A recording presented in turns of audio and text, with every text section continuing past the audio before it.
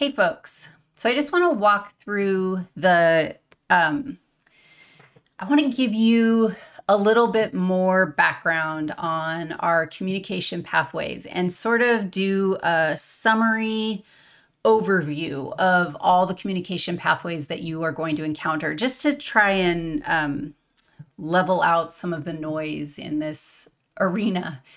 These communication pathways are really loud. So there's three things that we're going to talk about in this little clip. First of all, I want to talk about the general pattern that we see in all communication pathways. And hopefully all of this will be review because of your grand anatomy background. After we establish the general pattern for communication pathways, then I want to specifically go into a neural pathway and the anatomy of a neural pathway. I want to start with the neural pathway because I think it's more intuitive and I think we spend more time on that in anatomy in comparison to the endocrine pathway. I would argue we're going to spend a great deal of time on endocrine type pathways in physio. So the fact that it's a little less familiar, maybe a little less comfortable is fine with me because we're going to get lots of practice with it. So we will wrap up with looking at the specific characteristics of an endocrine pathway and how it's similar to a neural pathway and how what characters are um, very distinct. So we're going to, of course, in Riggs style, we're going to draw ourselves some pictures. And I'm going to put it all on one page. So let's start with the the like the general pattern for communication pathways. And they all start the same way, right? They all start with a stimulus. And I can't think of a stimulus without putting a little star around it because in my head, that's action. And the pathway has to have something, something has to initiate the process, and that's the stimulus. Something has to be the point of the process, and that is the response. I'm drawing the stimulus and the response in the same way because they're similarly non-anatomical things. They're, they're actions. A stimulus is an action that causes this pathway, and the response is the action that's the outcome of the pathway. Does that make sense? So the stimulus, in order, and this is like such a physio concept, in order for the stimulus to be real, you have to have something that can hear it, can pick it up, can read it, and that's your sensor.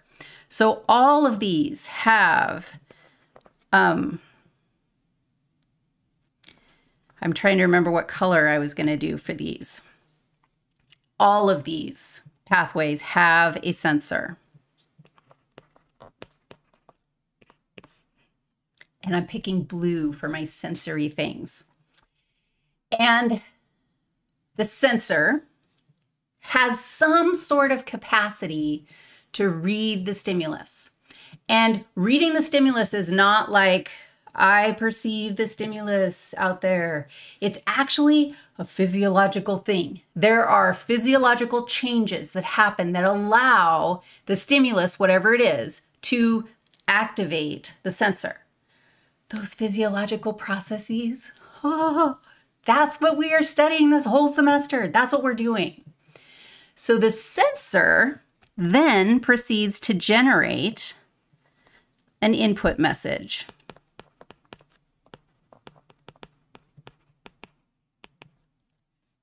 Think about that. Stimulus caused something to happen. The sensor picked it up and then the sensor generates an input message. What does that input message look like? Well, that's another topic of physio. That's a cellular mechanism that we will look at. We will explore all the little molecules and all the channels that are opening and closing that allow for the creation of or the propagation of that input message. That input message is going to travel to an integrator.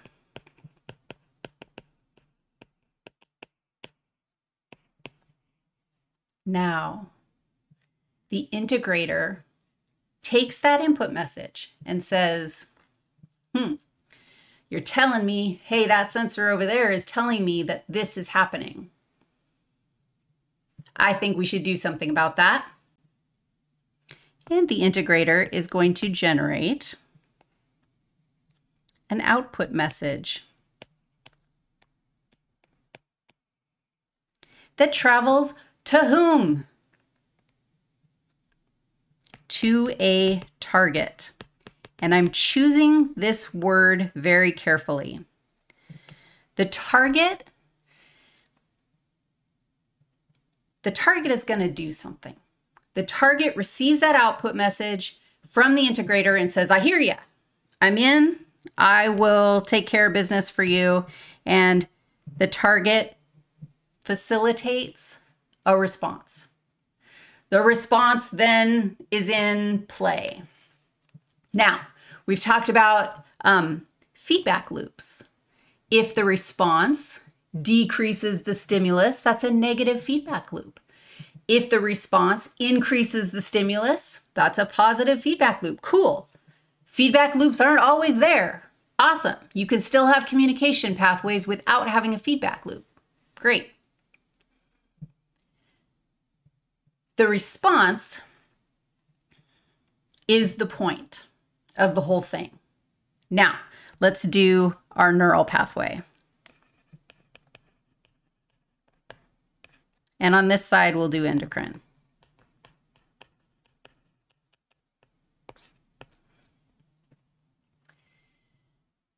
Stimulus is equal in both. In a neural pathway, our sensor is usually a sensory receptor organ. I'm just going to have to, oh, I don't, I shouldn't say usually. Comfortably, we're like, oh, we're familiar with sensory um, receptor organs. Do I need to write that down? Like an eyeball. I'll just draw an eyeball for you. There's a sensory receptor organ. I'm going to draw your attention to some um, vocabulary that I'm not sure everybody's remembering. And that is somatic sensory and visceral sensory, and somatic motor and visceral motor.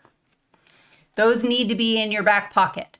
Somatic sensory um, senses or neurons are things that are associated with the outer tube of your body. So your eyes and your ears and your nose and your skin, that's all somatic sensory um, sensing. Visceral sensory is associated with your inner tube. So it's your guts, your heart, your digestive system, your kidneys. Um, visceral sensory receptors and you have them. And that, holy cow, your visceral sensory receptors are responsible for sensing homeostatic levels.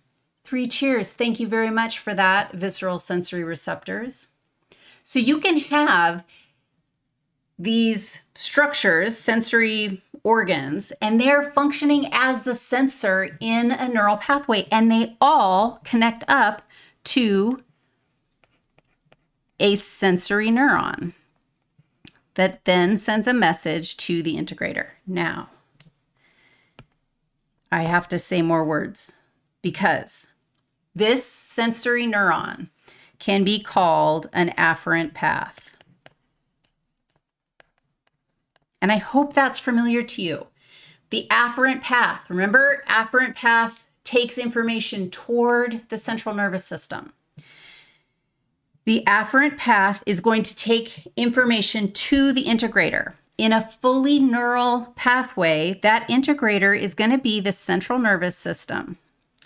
I was about to say the central nervous system or the spinal cord, but the spinal cord is the central nervous system. The central nervous system is the brain or the spinal cord. And those in a neural pathway, that's your integrator. If I said, hey, what what kind of um, your cerebellum, what role will it play in a communication pathway? You don't have to think about it. You don't have to guess. You don't have to know anything about the pathway. The cerebellum is a brain structure it will play the role of an integrator in a communication pathway, period. Let's talk about integrators. They don't do doo doo. They don't do doo doo, doo doo doo. No, they don't do anything. They have to tell someone else to do something. Brain and spinal cord don't do crap. They send a message out through what kind of path? Yes, indeed. I hear you. I hear you. Through an efferent path. They send the message out to, uh, should I say, yes, I think I am going to say, to an effector.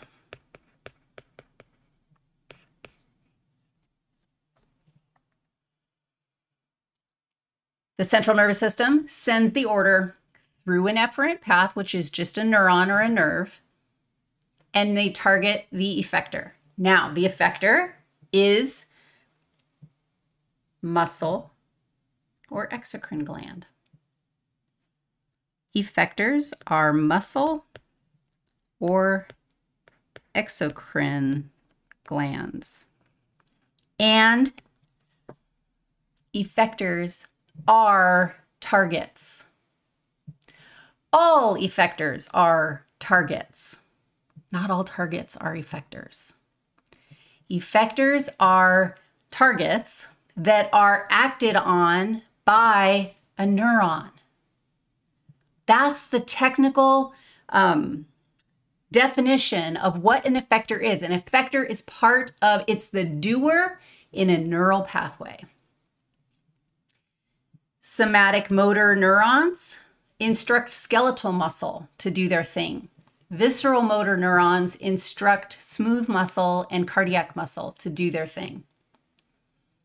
There is a pathway, friends. How do you feel?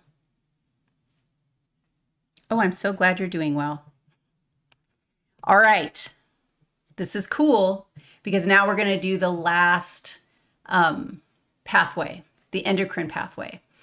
And you can see them right next to each other. You can see that the effector is the target, the central nervous system is the integrator. We have sensory receptor organs, or we have sensory receptors cells that are really receiving information. The afferent path is the input message, the efferent path is the output message. It's all clean.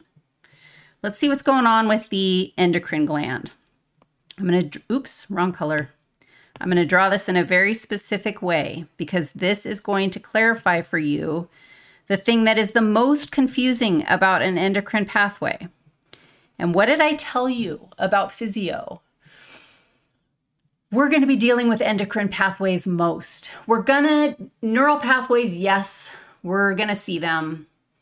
But endocrine pathways, we're going to be seeing a lot of these weird, different looking pathways. And what did you notice? What did I just do? I just drew a box that I don't know if you can tell because if you weren't watching, it's blue on top and purple on the bottom. And that is because in an endocrine pathway, the sensor is the integrator. And the sensor is the integrator is an endocrine gland. So let's put that in here. Endocrine cell gland. You know what I mean. Oh, that's I can't read that unless you followed me writing that. So the sensor is the integrator and the, that integrator, that's the endocrine structure.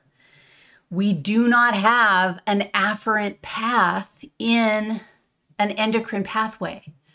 What this means for you is that the endocrine, like if you think about somehow, you have to sense the stimulus. The endocrine gland itself senses the stimulus. I don't know, I kind of feel like I want to add a little like a little indicator that says, okay, the sensor is going to pick up that stimulus. Like, okay, yeah, we'll just throw some little receptors in here to indicate that we're picking up, we have some sort of physiological capacity to pick up the stimulus. And that actually generates a bunch of chemical reactions inside the cell in the endocrine pathway. So the stimulus comes in, activates the endocrine structure. That's, you know, it senses what's going on and it generates its input message inside the cell or inside the gland. So this is kind of the, let's do it there. This is like the input message. It's like it's inside the cell because then the endocrine structure also acts as the integrator and says, hmm, I see that we have received this information. It's been processed inside of me, and now I know what I want to do. It's an endocrine structure, so what is it going to do? It's going to do one thing and one thing only. Uh huh. Oh, good Lord. That is a very odd looking blood vessel, but it is a blood vessel indeed. Dude, we're dumping some chemical. We're going to dump hormones into the blood. That's the blood sillies. And then our target just so happens to have the receptor that can pick that up. How do you feel about that? we always call, okay, no, the hormone is the output message. The output message from an endocrine gland is a hormone. Is it an efferent path? No, it's not, because an efferent path is a neuron. But it's an output message. And an efferent path is also an output message.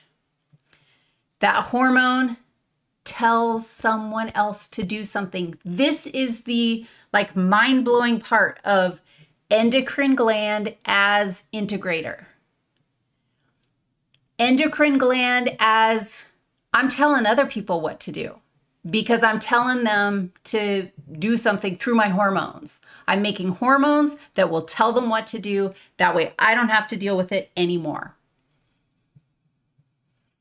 Okay, I feel like, mm, how did I do? Did I catch everything? I hope so. If I didn't, let's talk. All right, goodbye.